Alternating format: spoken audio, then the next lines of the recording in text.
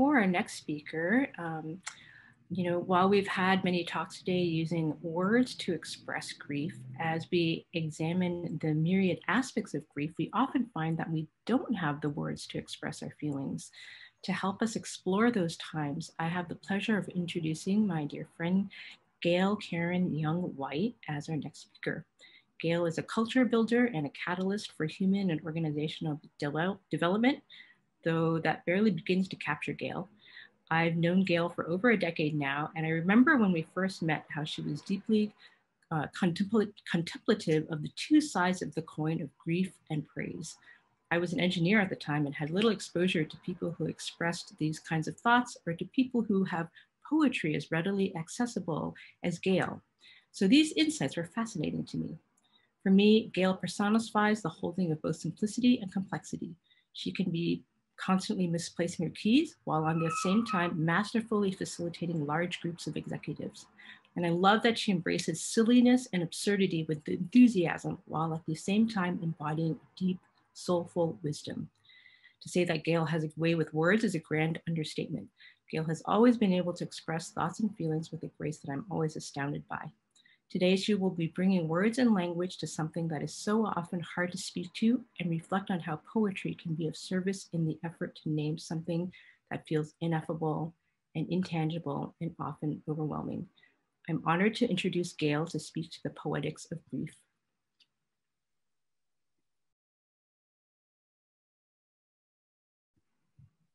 I'm just having a good laugh because it is appallingly true how frequently I misplace my keys. Um, Thank you, Shing, and also to Ivy for being part of the lineage today. I'm Chinese American, born in the Philippines, immigrant, undocumented until I was almost 30 years old. So thank you, Ivy, for um, sharing your pain and also naming mine. And this speaks to why it's so important to name publicly, to make it accessible, to share it, to widen um, the touch points between us and human other human beings through presence and language. The oldest poem that we have access to is a lamentation, a poem of grieving inscri inscribed in cuneiform into a clay tablet that dates back over 4,000 years to ancient Sumer.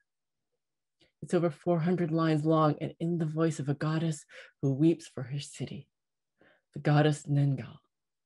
And I find it fascinating, a lot of these ancient lamentations occurred in the feminine voice.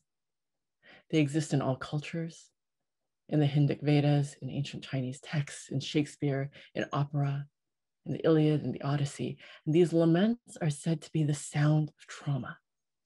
Trauma itself given voice and also memory. One of the lines that stood out from this ancient lamentation is the goddess saying, My step, my step established for joy was scorched like an oven. These lamentations are often deeply placed in land. I think that's fascinating because one thing I learned in holding my own grief is the capacity of the earth and all that she has seen to hold all our grief. My step, established for joy, was scorched like an oven. These words from 4,000 years ago are not so different from the more contemporary words by Lois Red Elk of Montana, who writes, and our blood remembers, the day the earth wept, a quiet wind covered the lands, weeping softly like an elderly woman, shawl over bowed head. So I began uh, to understand the role of poetry and language through the doorway of my own grief. I was driving cross country in the midst of a divorce, in the midst of incredible heartbreak, and a friend left on my answering machine these words by Rainer Maria Rilke. He said, It is possible that I am pushing through solid rock like a vein of ore encased. And I'm so far in, I see no end and no distance. Everything is close to my face, and everything close to my face is stone. I am not yet wise in my grief, so this great darkness makes me small. But if it's you, make yourself fierce and break in, and then your great transforming will happen to me and to you, the fullness of my cry. I am not yet wise in my grief, so this great darkness makes me small. Something in those lines helped me turn toward grief, not away from. To fear it a little less and to feel kinship with this dead poet who found the words that I didn't even know to say that gave my grief contours. This poem helped invite me into my own group. I'm like, who is this guy? How do I find him? How do I find other words like him? I invite those of you on the line to use the chat function to name other poets, lines, words that have helped you in times of grief. I often get asked what poetry I turn to. This poem helped me be present to my grief and it unlocked something. As Roshi Joan Halifax said earlier, words cannot be a substitute for presence, but I think poetry can invite us into presence. It gives us shape of grieving so we can enter it, and it can help us bear witness. Those ancient and modern lamentations help us bear witness. I think of I Can't Breathe, George Floyd's last words that have been etched in many lamentations of him and of the wider injustice we are called to bear witness to. Elie Wiesel, in his Nobel lecture on memory, referring on the biblical figure of Job, said, he demonstrated a faith essential to rebellion and that hope is possible beyond despair. The source of his hope must be memory as it must be ours. Because I remember, I despair. Because I remember, I have the duty to reject despair. I remember the killers, I remember the victims, even as I struggle to invent a thousand and one reasons to hope. Poetry and grief are entwined because the poetic voice, lament is the sound of trauma, is the voice of expression of grief, invocation of memory, individual and collective, and it guides us into and through grief all at once. The invitation to fullness in grief makes sense to me. I'm going to um, adapt these words from Franz Kafka you can hold back from the suffering of the world. You can hold back from the grief of the world, and you have permission to do so. And it is in accordance with your nature. But perhaps this very holding back is the one suffering you could have avoided. It takes energy to hold back, it takes energy to dam it up. And sometimes what we dam up can feel so overwhelming that we don't want to enter it. But then we miss that what we mourn and how we mourn may also be worth the fullest expression of what we can bring to it. You know, I think poetry aids us in creating a context for grieving so that we can do it wisely. Shing talked about, I've been long um, obsessed with Michael Meade and his words on grief and praise. And he said, grief is praise for what we've lost, and praise is grief for what we have. And that's a Zen koan for you. But this notion that we praise we grieve because we love. That we take the time to honor what we grieve ourselves, our loved ones, our own fullness, the scale of institutional and societal harm, the lamentations that stretch all the way back into our earliest history and across every culture. You miss and you grieve because you love. We love and thus we get to grieve. There's this line from um, Galway Kinnell when he's writing in this poem called Little Sheep's Head Sprouting Hair in the Moonlight. When I come back, we will go out together. We will walk together among the 10,000 things, each scratched in time with such knowledge that the wages of dying is love. The wages of dying is love. These lines are things that the mind can't grasp, but the embodied heart knows. And I think poetry also teaches about the journey to holding loss as part of the cycles of life, to grieve more wisely, as Roshi Joan Halifax said in the beginning of our conversation. I love Mary Oliver because she teaches so much. And she writes in this poem, In Blackwater Woods, every year, everything I have ever learned in my lifetime leads back to this. The fires and the black river of loss, whose only, whose other side is salvation, whose meaning none of us will ever know. To live in this world, you must be able to do three things to love what is mortal, to hold it against your bones, knowing that your own life depends on it. And when the time comes to let it go, let it go. The irony is that loss and death and finiteness is what teaches us about life and infinite. And it also, I think poetry teaches us about grief as the doorway into compassion, into the way that this experience that can be so isolating and can feel so alone in grieving can actually touch the universal. Naomi Shihab Nye writes in her poem on kindness that before you know what kindness really is, you must lose things. Feel the future dissolve in a moment like salt in a weakened broth. What you held in your hand, what you counted and carefully saved, all this must go so you know how desolate the landscape can be between the regions of kindness. Before you know kindness is the deepest thing inside, you must know sorrow as the other deepest thing. You must wake up with sorrow. You must speak to it till your voice catches a thread of all sorrows and you see the size of the cloth. I think about that in my work with activists speaking to it till your voice catches the thread of all sorrows and you see the size of the cloth. I think of the Mother Mary captured in her great grief, you know, those forms of her in Pieta holding her son, and how her grieving form speaks to all mothers. And her own kinship to um, my deity, Kuan Yin, and her compassion with her thousand eyes and arms to take in and observe all the sounds and suffering in the world.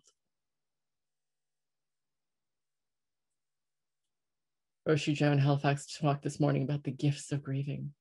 I had a beloved friend and mentor who passed away, and I was sitting, you know, those moments when you hear of loss and you know exactly where you were sitting. And he had a tagline on his email that says, Nothing left ungiven.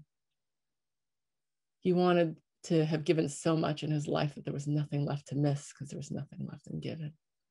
And uh, something in the way of his passing acted like a great spotlight, or the way that um, a great illumination happens and throws the rest of the world into stark relief. Just like if you've ever experienced the light during a solar eclipse, it's super weird.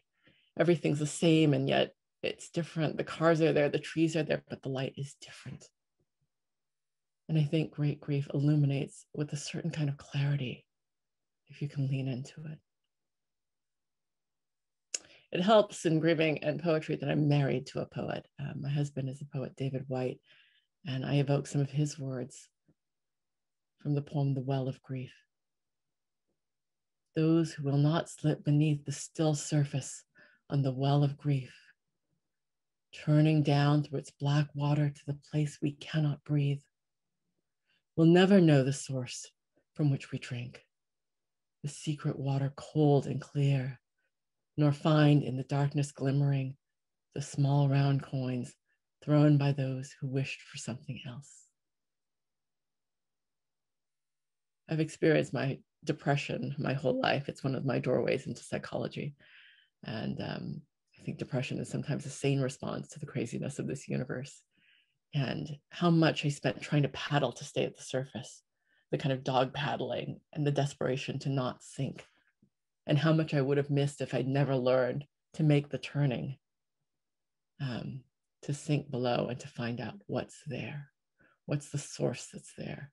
What's the commonality? And what are the bigger things that hold that and hold us in that? So, poetry has been a core part of my own resilience practice. It has been a teacher, a shaper, an invitation. And it's taught me to trust the part of me that knows deeply because myself and my ancestors of every generation have had to hold grief. And we have allies that we don't even know we have in the earth and the sky and in language and in our bodies.